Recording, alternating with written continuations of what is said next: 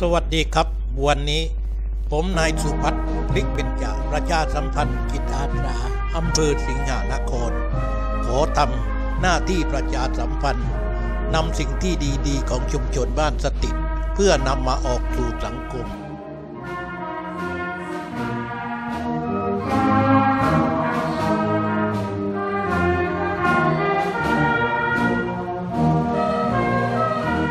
วันนี้พี่น้องในชุมชน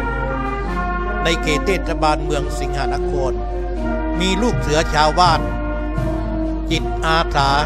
นักเรียนนักศึกษาครูบาอาจารย์พี่น้องประชาชน บริษัทเอกชนต่างๆ เช่น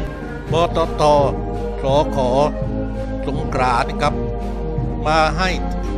การสนับสนุนนำกล้าไม้มาให้พี่น้องชุมชนได้ทำการปลูกในวันนี้ วันที่ 12 สิงหาคม 2561 ที่ชุมชนบ้านสติดมีทั้งพี่น้องไทยพุทธ อิสลามมากันมากมายครับ